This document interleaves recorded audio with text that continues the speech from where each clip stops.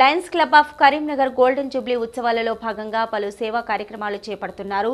Lions club అధ్యక్షుడు పెద్ది విద్యాసాగర్ ఆధ్వర్యంలో నగరంలోని ప్రభుత్వ ఆసుపత్రిలో అన్నదాన కార్యక్రమం చేపట్టారు.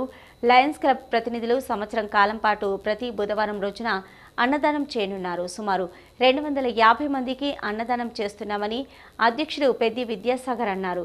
ప్రతి బుధవారం రోజున పేషెంట్లతో పాటు వారి సహాయకులకు భోజనం అందించామని తెలిపారు. అంతేకాకుండా ప్రతి శనివారం వీక్లీ మార్కెట్లో అన్నదానం చేస్తున్నామన్నారు.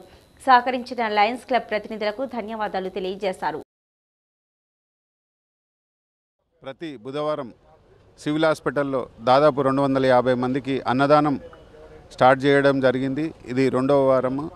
ఇక్కడ ఉన్న పేషెంట్లకు అటెండెన్స్కి ఎంతో ఉపయోగము. మా లయన్స్ క్లబ్ ఉద్దేశం గు- ఎవరికైనా ఇట్లా ఆకలి ఉన్నవారికి అన్నప్రసాదము చేయాలనే ఉద్దేశంతో ఎవ్రీ శనివారం ఇక్కడ దాదాపు రెండు వందల యాభై మందికి మరియు బుధవారం ఇక్కడ మరియు శనివారము అక్కడ వీక్లీ మార్కెట్లో కూడా మేము స్టార్ట్ చేయడం జరిగింది.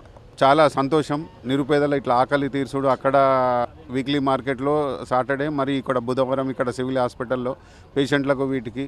దీనికి సహకరించిన మా లయన్స్ క్లబ్ మెంబర్స్కి అందరికీ పేరు పేరున ధన్యవాదాలు.